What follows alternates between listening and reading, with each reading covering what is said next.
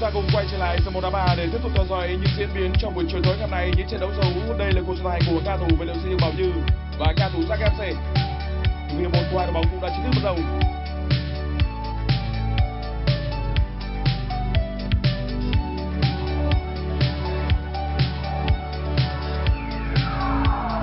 Rất nhịp nhàng hải con cú sút ghê bàn thắng rất đẹp dành cho chỗ nam hải trường như là một đường chuyền sẽ đánh sang cánh phải. Điểm chính quyết định vừa rồi của hải con đã khiến cho thủ thành của cao thủ về xây bao nhiêu cũng đã phải bó tay. Một mặt thắng thực sự rất đẹp và cho thấy khả năng quan sát nhãn quan thi đấu tốt như thế nào của ai con và tất nhiên là khả năng xử lý tốt nữa. Sau đó thì cầu thủ này cũng đã ăn được ờ,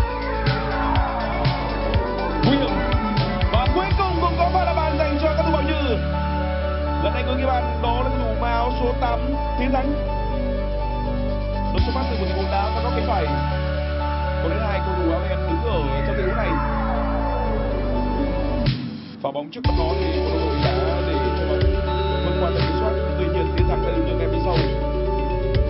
Và chạm hai con. Sự xuất hiện của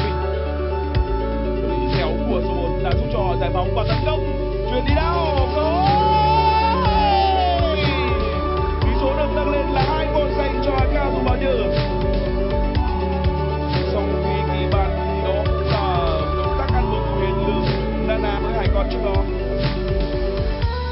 tỷ số được nâng lên là hai một. Bây giờ thì hai đội bóng đang tạo ra được một thế trận. Có thể nói là hấp dẫn với sự diễn biến của trận bóng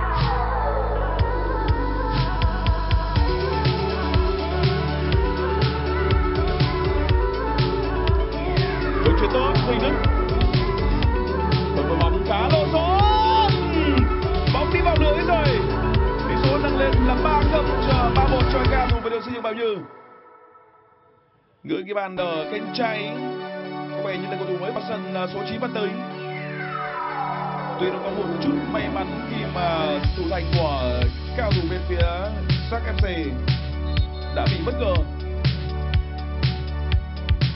Như vậy là đã được trong vị trí được bố trí đa dạng cho đối tượng số 1 đối nguy hiểm.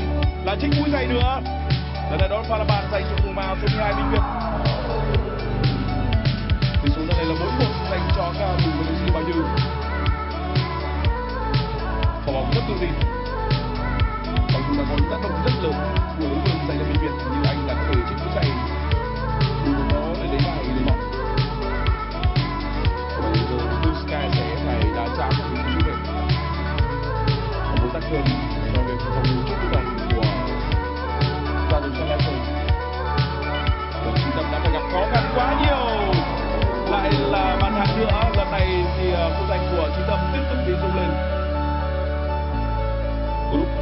tới.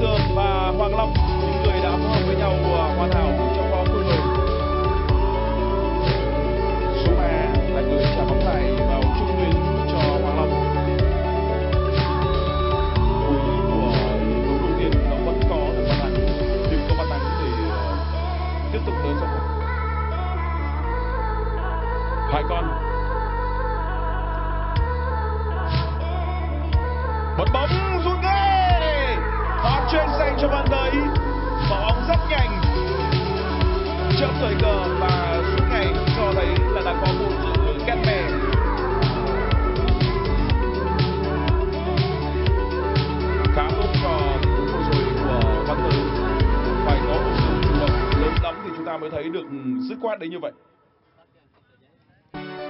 Phúc Hậu. Quả người hay Phúc Hậu. Cú sửa bóng và đó là bàn thắng thứ hai cho cả thủ Giác FC Mặc dù khi ít bàn thắng hơn so với đối phương, tuy nhiên cả hai bàn thắng của cao thủ sắc đều là những pha làm bàn rất đẹp mang yếu tố cá nhân rất cao. Lần này Phúc Hậu cũng đã gieo sát bóng để có thể vượt qua được hơn hai cầu thủ đối phương trước khi sửa bóng của gia để đánh bại điểm nhấn lớn nhất của đội tuyển tạo ra ở trận đấu này đó là pha kiến tạo của đội ờ, một.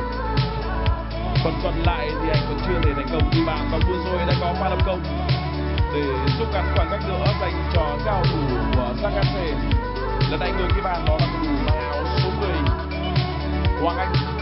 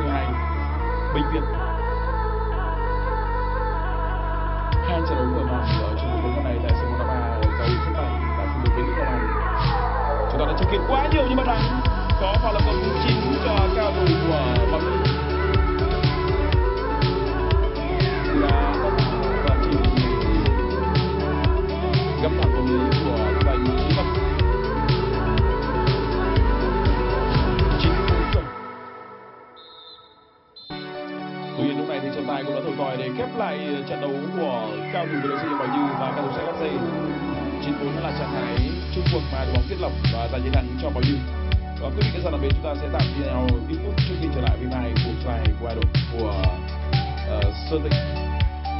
Và Sơn Đông Thịnh và các thủ bàn tròn FC